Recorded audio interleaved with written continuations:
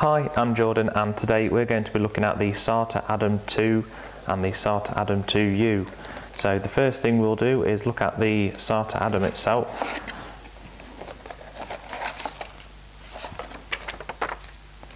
So within the kit, depending on which one you've bought for which gun you've got, you'll get the Adam itself and then you'll get the dock or whichever one you've bought. So for this one, we've got the SATA MiniJet 4400. So we'll be installing this one into the 4400 along with our Adam. So as you've probably noticed, I've got two docks and I've only got one Adam. That's because once we've fitted the docks onto our guns, we only need one Adam because we can interchange it depending on what gun we're using at different times. So those are the two different docks we've got for our guns. And we've also got the retrofit dock, which means we can put this onto any other gauge what fits at the bottom of our gun. For example, this one here, we're going to change the analog one here to the digital one. So what we'll do is we'll take a look at fitting the Adams to the guns first and then we'll take a look at the retrofit one after. Okay, so first of all we need our 4400, which we've got a brand new one here which I'm fitting it to. So all we're going to do is take the gun out for now.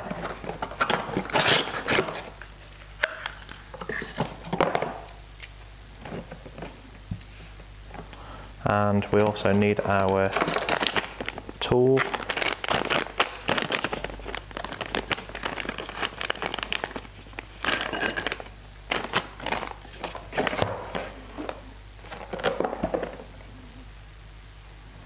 And all we're going to do is remove the air micrometer from the gun and by doing that we need to remove the pin on the side here where my thumb is and we're going to remove that, that way we can get the Adam in.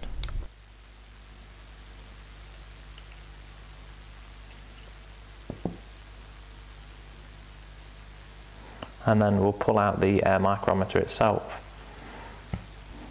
So this now becomes unneeded and we're then going to fit the dock for our Adam.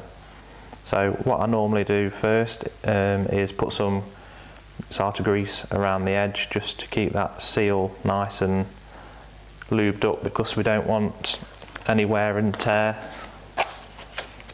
So we'll just get the lube or grease and all we're going to do is just pop a little bit just around that little seal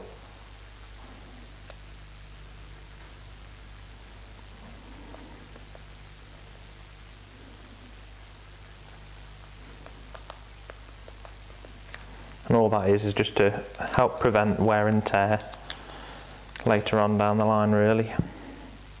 So make sure that the spring's still inside and it's aligned up properly and all we're going to do is insert the Adam dock into the gun.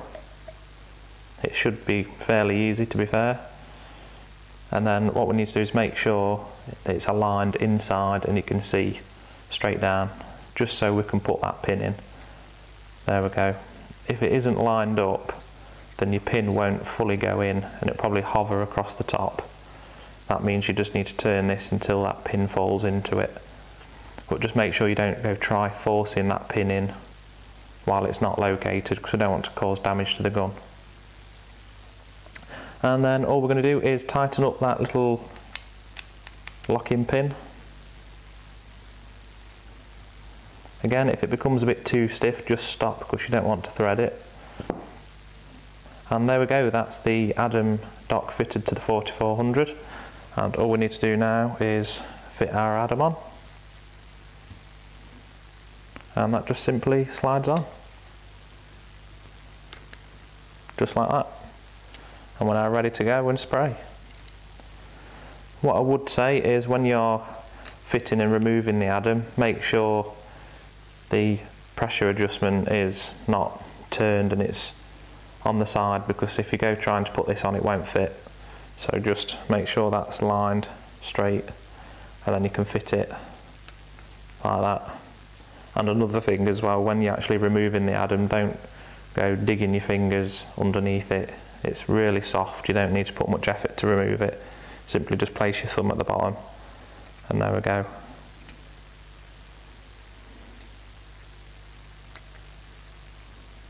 And that's fitting the SATA Adam to the 4400. Okay, so now we've actually fitted the Adam to the gun and fitted the docking station, we can look at retrofitting the docks to our normal gauges what go below the gun. So we've just got our normal gauge here and we're going to take the old analog gauge off or the old dial gauge. We'll pop that to one side and what we're going to do is retrofit the Adam dock to this gauge. So all we need to do is pop the Adam dock in and now we've fitted the Adam dock to the gauge all we need to do is take the cover off and then we can go and insert our Adam so we can take that off of our gun